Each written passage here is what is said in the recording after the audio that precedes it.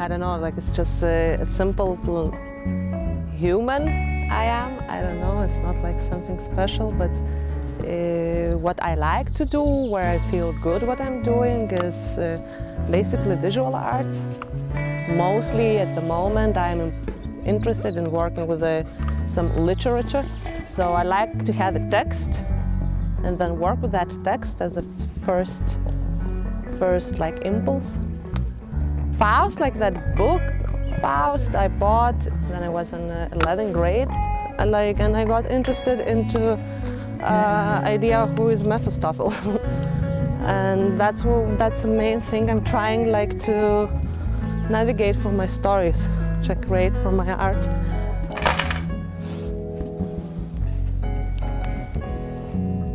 I got interested in one of the main thing in Faust that uh, why um, Goethe decided to let him to heaven. I can't say that uh, I'm separating Faust from Mephistopheles. I mean, like the, that's what I try to do all my project. Like I try to put them together. They're not like, oh, this is Mephistopheles and oh, this is Faust. No, this is Mephistopheles and Faust in one. Mephistopheles is like uh, maybe he can give you thoughts.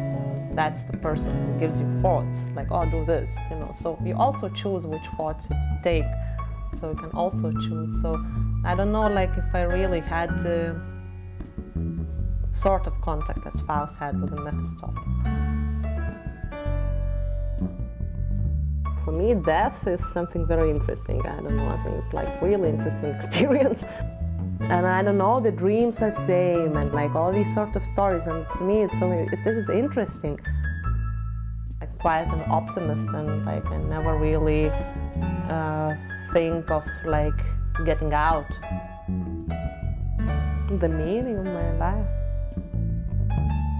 life itself.